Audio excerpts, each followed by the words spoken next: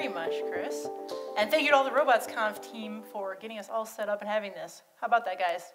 I would give them a round of applause? All right. So I am here to talk to you about becoming a maker, or as I kept calling it when I was writing it, you know you're a maker when. Because I fully intend not to be terribly serious, because that's not a lot of fun. But I have a list of things and a ton of stories that have happened to me as I've started to go from completely a software developer with no clue what I was doing with hardware to still having no clue about hardware, but blowing up a few things. Sweet. All right. So I kind of have to do the required bio slides before I talk about anything interesting. Um, I try not to let it define me too much, but for the last four and a half years, I have been a computer engineer with NASA at Kennedy Space Center. Um, three of those, my time has been 100% devoted to the Spaceport Command and Control System, which, skipping the long and technical definition, is computer support and hardware support for everything on the ground. So everything from the vehicle assembly building to the launch control center to the pad right up until T0, that's our software and hardware. I've been completely on the software team. Um, a year and a half ago, I switched to doing partial time with our SwampWorks lab, which is a rapid prototyping research and development lab. It's fail fast, fail early, and then move on. But ideas aren't discouraged. If you want to try something, you go for it, you fail, and you learn from it. My time with them increased a little bit uh, about a year ago, but I'm going to talk about that later. And now, because I talked to our legal folks about presenting, I just have to give the disclaimer that, of course, everything I'm telling you is my own stuff and not the opinions of NASA and all that kind of thing. Um, otherwise, they get kind of angry with me for not running it by them. So the other side of me that's not work, um, I'm a type A plus because A is just not enough. Um, I'm a professionally trained musician. I'm a former EMT. I do half marathons. I'm a triathlete who's insane enough to try a half iron next year. Um, and I'm also extremely insane because I'm a board member at Orlando's Hackerspace, FamiLab. Um, all of that just kind of makes me a masochist more than anything. And through this, you're also going to see that I'm really, really bad with Photoshop, but at least you'll be entertained. Um, I'm really terrible at taking project pictures too because I'll get halfway through remember that I should be documenting, say, whoops, take a picture and move on. So I do a whole bunch of stuff. How did I get to this point? I started with a fully software world, and I got started really early. My handwriting's still that bad, um, but it started worse. I started with my first DOS book, learning CD and being proud of that, working through the examples, digging through all the manuals that my parents had lying around the house, completely to the exclusion of hardware. Had not a bit of hardware at all. But it wasn't that I didn't want to, it was that it never occurred to me. I built my own computers as a kid, and I built my own computers as I was growing up, but I never cared about anything lower. Um, microcontrollers, uh, PICs, everything. I just didn't care. Or I should probably say I didn't know what I was missing. That's probably closer to the truth. I didn't realize that bars there. Oh well. Um, to care about something, you have to know it's there. And I just didn't. So a lot of you come from a software world. Some of you maybe not, but I can see some of you looking to see what the code is up on the screen. And that's actually from a rocket project that I'm doing at my hackerspace. It's kind of on hold for the moment, but with experimental rocketry on the model scale. So we're making our own fuel, we're designing our own engines, we're writing our own software. Um, it's a lot of fun. It costs quite a bit, so we're kind of taking a pause. Um, but all of you came to RobotsConf to either start or continue down the path of becoming a maker. See how I uh, kind of put the title in there? But what, do we know what being a maker actually means? It's a little more complex than you would think. So if you look at a whole bunch of dictionaries, they're terribly helpful, and they say that a maker is someone who makes. Um, that could be my cat or a small child, because they both make messes. But in seriousness, let's look a little deeper. What does it actually mean to be a maker. I've spent actually hours trying to figure out a good definition because I can overthink anything to death. So, in my head, a large part of the definition is someone who works with hardware. Well, that's great, but I know a ton of people who do art that I would consider makers. We have a guy at our hackerspace who made a spray paint bot that makes art on large sheets of wood and thankfully not the wall.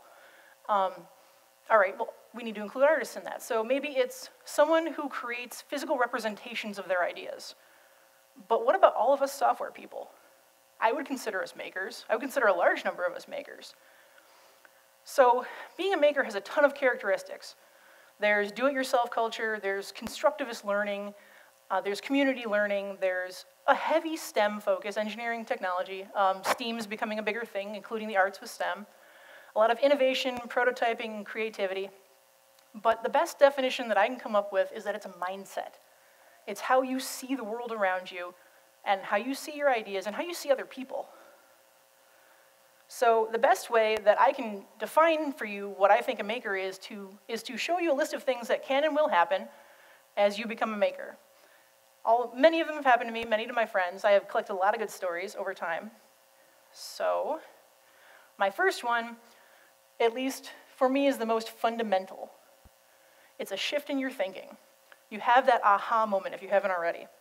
So up here, I have a couple of stills from a YouTube video of a guy who did a laser harp with OpenLase and OpenCV.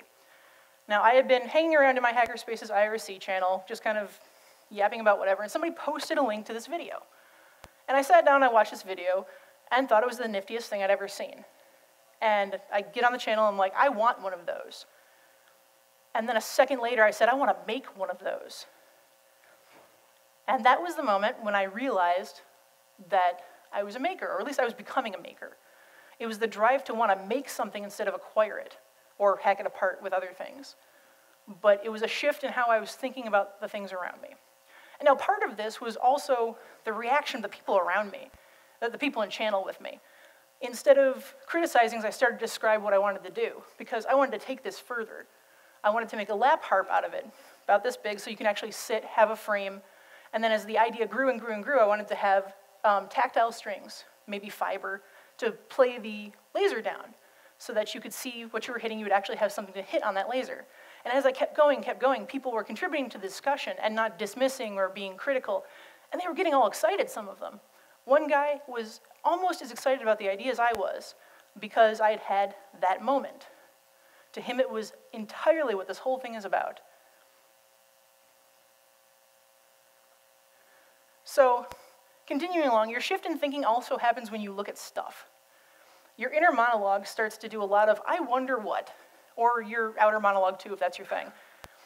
I wonder what, I wonder what happens if I do this. I wonder what happens if I take this apart. I wonder what makes this thing tick.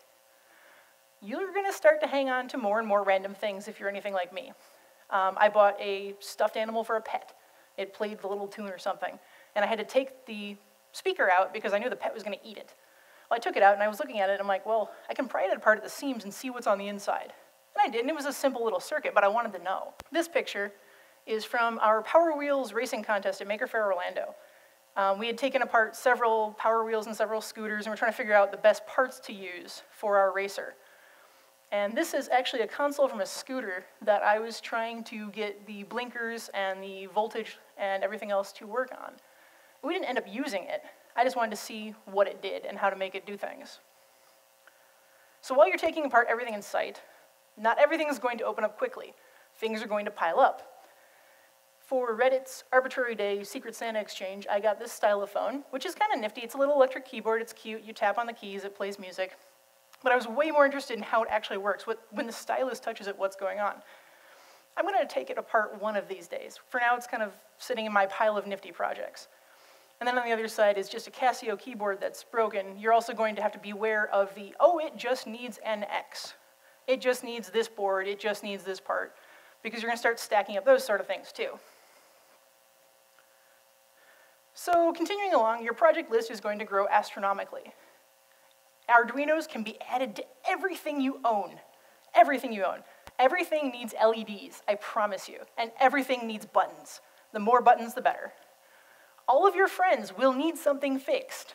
I have soldered together so many speakers and headsets and fixed keyboards and, of course, installed software and computers for my friends. And a lot of my friends come from NASA. But, hey, you can solder. Hey, you do electronics. Would you fix my whatever? And then everything can be modified, everything you own. And that includes yourself. Not my thing. A handful of my friends have embedded NFC tags in their hands, in the meat of their thumb. A few of them have magnets in their fingertips. With the NFC chips, they can unlock their cars, their homes, they can start their motorcycles. They can badge into our lab just by touching their hand up against the sensor. They can go to the vending machine, swipe with their hand, and get any number of Arduino parts at our lab, or food or drink or whatever, and it just links to their Google wallets. So the urge to modify things does not stop with actual objects. It's, it continues onto yourself sometimes.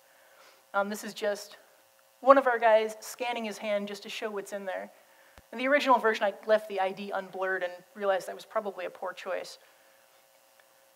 So because of your growing project list, and a lot of you have seen this this weekend, you're going to say, oops, a whole lot more. You're probably going to invent several new cuss words if you're anything like me. Um, and you're going to find lots of new ways to let the magic smoke out.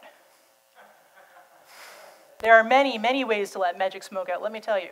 Now, for anyone who doesn't get the reference, if you're, if you're brand new to hardware, it originally referred to the smoke produced by overheating electronics, but now we just kind of say, well, I let the magic smoke out of this, or I let the magic smoke out of that. It's just breaking another hardware part. You will turn your light emitting diodes into smoke emitting diodes. You're going to pop capacitors. You're going to fry the chips in your Arduino, which I've done. Um, if you really want to be entertained, YouTube popping capacitors or overvolting capacitors. Um, some people have deliberately made very large caps and exploded them for my entertainment. Um, both, I have two pictures up here. One is one of my projects, the other is not, but it's electronic score, and who doesn't like electronic score? The one on the right is a popped capacitor. That's what happens when you overvolt them. And the one on the left is a sound chip, the cheap version of which I bought off of eBay. I had put it in, I had this entirely in this project. The project was ready to be finished, and it shorted. So buying cheap parts will also cause you to let out the magic smoke. I ended up buying from SparkFun, and the present that this was part of, that I'll actually refer to later, um, was a few months late because I did this a couple of times. It can also happen if you fail to pay attention to what you're doing. Um, this laptop, actually, which I'm glad survived, took 18 volts across a USB port because I was not paying attention to which circuit I plugged in. Um, thankfully, it's well designed, shut itself off, but I, my heart stopped for just a couple seconds. Um, USB ports are designed to take, I think, five and a quarter maximum. You also haven't truly learned to solder until you've burned yourself, and you will burn yourself. I don't have a lot of good pictures of my projects because usually when I'm panicking, I'm not really holding the camera. Oh, this is not smelling right. Oh God, is that a fire? Not holding the camera. So thinking of fire, actually, you're going to spend a lot of time wondering if things are going to catch on fire or trying to incite them to. I have a friend from our hackerspace who wired up her wedding dress with fiber optics and LEDs. And as she got closer and closer to the wedding, she wasn't done. So she was just slapping in battery packs and getting everything all wired up. And when we had people plug her in, the plug was in the back and the smaller back, we had to be careful which plug we plugged her into because one was 1 amp and the other was 2 amp. And if she plugged it into 2 amp, then she might possibly catch on fire. Um, every time she sat down, we had to unplug her because the battery packs would burn her legs.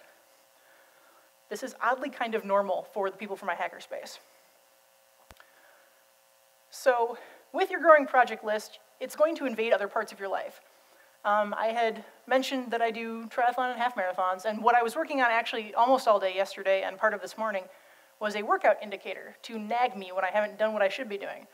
So the app I use for tracking my training has an open API. You register your app, you can make REST calls.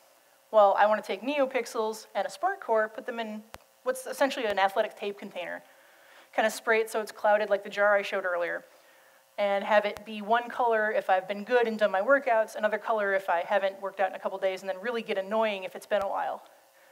And you'll think about in your life where to put things with Arduinos and LEDs and buttons. This will happen in every part of your life. With your growing project list, your standards for recognition are going to change a little bit, or at least get added to. Hackaday is one of the coolest things you can make as long as you don't read the comments section. Um, people on the internet are very, very mean. I have several friends who made Hackaday. This is my one project that's made it. I made a little sieve of Eratosthenes for my sister who was in school to be a math educator. And some of my friends thought it was nifty enough to send to Hackaday and say, hey, you should feature this. And it was featured and everyone I know emailed me, and I was all excited. This was almost as good as getting awards at work. I was that excited. Some of my friends have made Wired and Gizmodo and RaspberryPi.org and Adafruit and all sorts of things like that. These are new goals. If you make big enough projects, or you make nifty enough projects, or you work with other people on big things, you get recognition like this. all of your holiday and birthday presents are going to be handmade, or many of them are going to be handmade, and because of that, they're going to be late. Um, I tend to use my projects for learning. This one was, what can I make without buying anything else? It was a little hanging art piece for my little sister. Um, it's got a comic from, with Pusheen being siblings and all that kind of thing. She likes cats. And I just lit it with LEDs and I put it in a frame and I sent it to her, but I had to figure out how to wire everything up without blowing enough LEDs, which I blew a few of. But it was a challenge and it was fun, and it was only slightly late. This project was terribly late. So I made, one of my friends is a NASA groupie and a huge NASA geek. So I made for him a stuffed rocket, about this big. Um, my sewing skills are far, far less than my electronic skills, which is saying something. Um, when you squeeze a little fin on the rocket, if it was upright, a little motor would shake in the bottom of it, LEDs would light up, and it would play a countdown and some audio from one of our launches. If it was upside down, it would play a clip from one of the Star Trek Next Gen episodes saying, Can you make us go? We are broken. And it was nifty and it was fun, but it had a million little parts, and it had conductive thread, which I learned gets messy with hot glue. Um, I think this, I actually gave it to him in March, and it was a Christmas present. But it got there eventually. This was the one where I ended up blowing parts because I bought cheap parts on eBay. Always buy at least five, and you'll be fine. You'll get a little bit better at estimating your time, but not soon. This weekend, the project I had been working on for the workout indicator, I was like, I completely thought I was going to get this done. I brought the little container with me. I brought my Spark Core with me. Oh, I can set the Spark Core up there, just write a couple of calls, I'll be fine. It was an entirely new API to me. It was entirely new hardware to me. This obviously didn't happen. So it takes a little bit of work.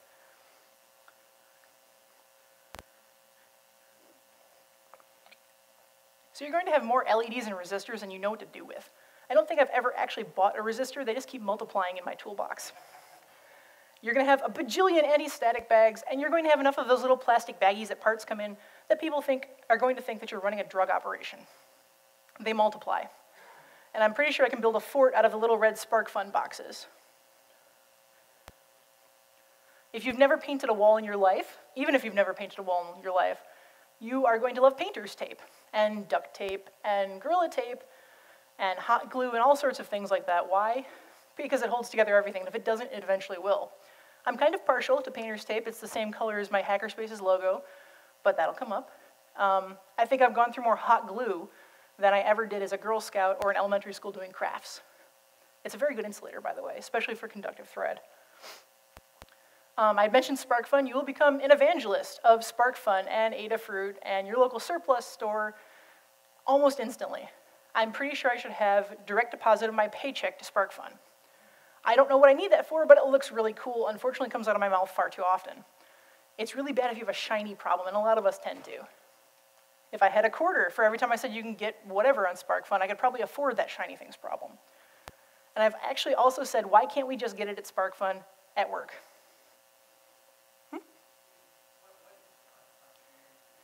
Uh, SparkFun is um, an electronics seller hobbyist site.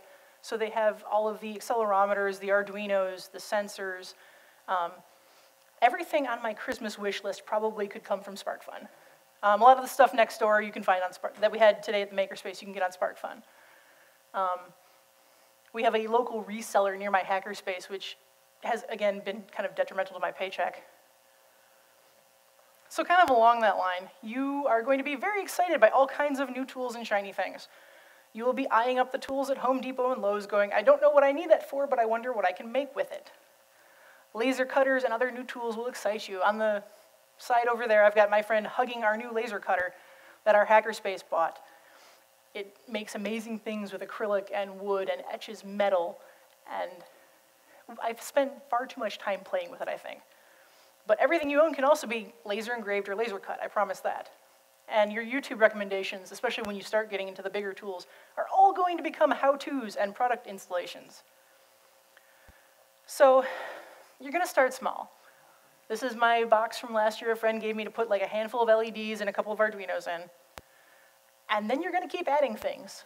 Um, on the, on the far side, that is the box from RobotsConf last year with all the nifty swag in it, and I kept adding swag to it. And I would find LEDs and resistors on the floor at our hackerspace, and I would pick them up and shove them in the box. And suddenly I ran out of room. So you're going to end up buying something like a tackle box that has more LEDs than lures. I had, I had this next door and ended up lending out my tools to quite a few of you um, yesterday. It's very convenient, it's also very heavy. But I figure I'm going to try to stay within this for a while and not upgrade to an entire house for all of my electronics. Although I have filled my car. The trunk of your car will get more and more full, and that is a soldering iron, and I have soldered out of the back of my car. It was convenient. So because I travel back and forth between the hackerspace and my house, which is 75 minutes, and between work, I just keep my stuff with me, just in case. You never know when you might need your soldering iron. Because I tend to stay a little bit later at my space, I've got my overnight bag and my backpack with my laptop, and I'm pretty sure my gas mileage has dropped by half just from carrying around all of my electronics. So you might also join a hackerspace. I keep mentioning mine, a hackerspace and makerspace. I tend to use the two interchangeably. Not everybody does, but they're, they're mostly the same thing to me. A hackerspace, I think you, they did the survey, but loosely defined is just a community of makers and tear-it-aparters and tinkerers and inventors and people who do things. Now, I found mine almost coincidentally. There was a, an Orlando game meetup group, and they'd posted for a retro movie, or retro game night. So they had Sega Saturns and NESs and all sorts of things like that. So I went out and I'm like, okay, whatever. So we stayed through till about 11 o'clock, and then I helped them clean up a little bit.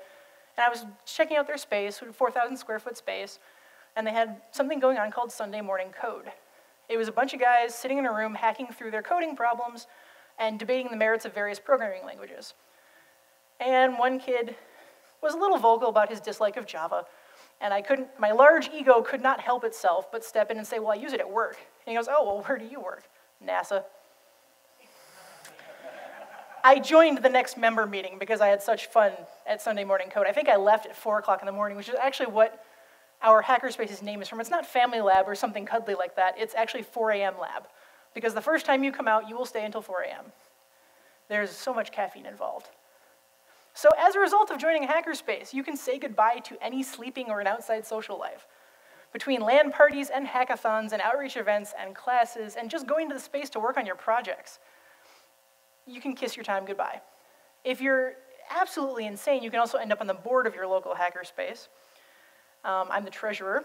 Let me tell you how much time I devote to that. But it ends up being fun. It promotes the community, it helps the hackerspace, it helps us grow. So you might end up teaching classes and giving talks. Um, one of my favorite recent things, I was on a plane to go from Orlando home for Thanksgiving, and we were stuck on the tarmac for an hour waiting for the weather to clear. So I'm yapping with the people next to me, and we're doing the, oh, what do you do? What do you do? Oh, I write software. Oh, where do you write software? Kennedy Space Center. So that turned into a whole other talk, and finally turned into 3D printing, because I do 3D printing for the rapid prototyping group. And one by one, people around me were turning around and asking questions, because they'd heard my seatmate going, oh, well, how does this work, and what about this, and can you print this? And by the time we lifted off, I had a mini lecture going on on the plane about 3D printing and I exhausted my knowledge of 3D printing, which is about this big. This kind of thing happens. That's one of the best things about the maker community.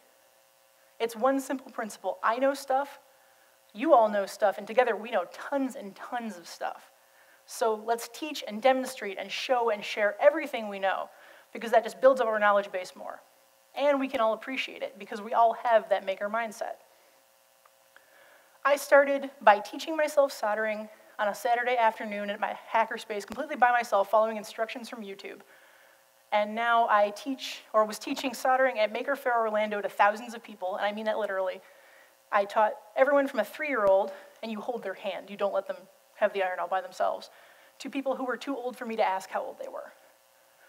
And it's exciting and it's fun because you see the joy and you see the, them light up when they make that new thing, when they learn that new skill. They just made little blinky robot pins, but the number of people who were so proud at having learned how to do this was amazing.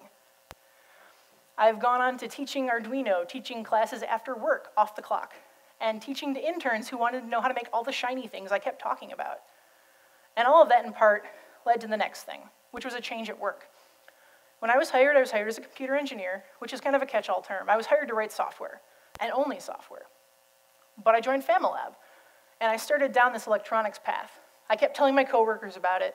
oh, well, you should see what I did at the lab last night. I was at the lab so late. Look at this shiny thing I made. And then I got Matrix part-time. I got, I got lent out to SwampWorks, which is much more a hardware shop. They needed a software developer, and they got me, which is good because they didn't really know what they wanted. I ended up getting some parts. They're like, well, pick a computer and do something with this. Grabbed an Arduino from my trunk and kept going. I did a 3D additive construction, a 3D printing project. Completed it and went back to what I was doing. A little while later, got a direct request for my assistance. A little more hardware, working on asteroid sampling. I am still actually a little bit in progress on that project. We're a little bit on hold. But it was much more hardware involved. And it was all because I'd started yapping in my cubes with my coworkers about the projects I work on. And I'm not the only one. I know several people whose careers have changed, or who've changed careers entirely, thanks to picking up an Arduino, taking Arduino 101, learning to solder, my best friend went from doing AV stuff to being an exhibit designer at the Orlando Science Center. Because he knows Arduino, he knows how to use tools, he knows all those odds and ends and bits and things in the maker movement. Through work, I got industry certified to solder, which, is, which sounds really cool, especially when I tell you that I'm certified to solder on spaceflight components. It's incredibly cool, it makes people go, oh my God. That doesn't mean I'm soldering in space. I'm gonna get there, just not yet. We have soldered in space, though. I found that out trying to, do, trying to find pictures for these slides. So in my talk proposal, I used the words covert bathroom soldering, and I figure I should probably explain exactly what I meant. So I did a side job for a friend of mine. Um, they needed someone just to solder some extra parts for them, but they had a lot of strict rules on site. No dangerous activities without being authorized. So soldering, metalworking, welding, anything involving anything where you could possibly injure yourself at all, you had to have authorization. So I wasn't certified for anything at that point, and I was being held up by a lack of leads on a part this big. I couldn't get alligator clips on it because it was just too tiny. And I'm, I was complaining in Google Hangouts to my friends from my hackerspace, and one guy half jokingly said, Well, that covers your building, right? And I'm like, Well, yeah. Well, what about the other building? Because it was a multiple building campus. I'm like, all right, that's interesting. I'll just grab my iron from my car. I'll go next door and find somewhere to solder. It was a small little conference building, and every room was full, except for the bathroom. So finding no other unoccupied space, because I really didn't want to have to answer questions, and at the suggestion, again, of one of my hackerspace friends, I did the world's quickest and worst soldering job in the women's bathroom. Now, because it was a lab and a metalworking space, it was mostly men. I was the only woman in the building at the time. So I sat there with my back, back to the door, plugged in high up on the wall, doing the world's quickest soldering job. Um, I ended up redoing it later, but it got me through the, the project I was working on. It got me further without holding me up. So you might get into repairing your own things as well. One of the silliest stories I have is from some morning I had taken my shower, I was getting dressed, and I have a fan in my room, and it stopped. And it was just the power cord. Power cord came apart. It was a simple little side-by-side -side power and ground. It wasn't anything complex. And I got all excited because I can fix this now. I have a soldering iron. So I got out my iron, I soldered it back together, and then I realized I never finished getting dressed. So while some things change, like your skills and your abilities, natural absent-mindedness is still there. so you might get maker cravings, and this is again one of those really terrible Photoshop jobs that gets the point across. Cravings are the best way I can describe it. It's that feeling first thing in the morning, at least for me, when I get to work and I'm still trying to boot up, and I've got all these ideas flowing through my head from you know, the night before, or sitting on Google, or from the drive-in, and I really want to sit down and work on them and design them, and I'm at work. And I actually have real work to do. It also happens when I spend an entire plane ride reading Make magazine, because my laptop is too huge to fit in the seats comfortably. I'll, I'll just read Make. And I'll get off the plane and I'm all excited to try whatever I'd read about. It's really disappointing when you have other obligations and you can't spare the bandwidth to think about your idea, especially when you get caught designing circuits and not listening to your chief systems architect in a meeting. I'm sure there are many, many more things that I could bring up that you'll do, that you might do, that your neighbor will do. This is just my list. So now you get the excitement of making your own list as you grow as a maker. So I want to thank you guys. I want to thank the RobotsConf team for being awesome and letting me speak. And I want to wish you luck on your path as a maker.